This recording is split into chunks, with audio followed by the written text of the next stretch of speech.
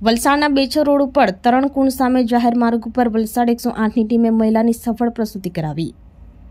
વલસાડ એકસો આઠની ટીમને મળેલા કોલ મુજબ વલસાડના બેચર રોડ ઉપર ત્રણ કુંડની સામે ફૂટપાથ ઉપર ફુગ્ગા વેચી ગુજરાન ચલાવતા પરિવારની મહિલા નગીના નીતિન કાલેજ ઉંમર વર્ષ ચોવીસને પ્રસૂતિનો અસહ્ય દુખાવો પડ્યો હતો જેને પગલે વલસાડ એકસો આઠની ટીમના ઈએમટી ભાવેશ કુમાર રમણલાલ પટેલ અને પાયલોટ બિપિનચંદ્ર પટેલ તાત્કાલિક વલસાડના બેચર રોડ જવા રવાના થયા હતા ત્યારબાદ ઘટના સ્થળે પહોંચી મહિલાને ચેક કરતા મહિલાને નોર્મલ પ્રસૂતિ થવાની હોવાનું જણાયું હતું જેના પગલે ઈએમટી ભાવેશ પટેલ દ્વારા તાત્કાલિક હેડ ઓફિસમાં કોલ કરી સિનિયર ડોક્ટરની સલાહ લઈ મહિલાની સફળ પ્રસૂતિ ઘટના સ્થળે કરાવી હતી મહિલાએ બાળકને જન્મ આપ્યો હતો જોકે ત્યારબાદ એકસો આઠ ઈએમથી ભાવેશ પટેલ અને મહિલાને બાળકને પ્રાથમિક સારવાર આપી એકસો આઠ મારફતે વલસાડની સિવિલ હોસ્પિટલમાં માતા અને બાળકને ખસેડ્યા હતા સિવિલ હોસ્પિટલ ખાતે માતા અને બાળકની તપાસ કરતા બંને સ્વસ્થ હોવાનું ફરજ પરના તબીબોએ જણાવ્યું હતું મહિલાના પરિવાર સભ્યોએ એકસો આઠ ઈએમટી ભાવેશ કુમાર પટેલ અને પાયલોટ બિપિનચંદ્ર પટેલનો આભાર વ્યક્ત કર્યો હતો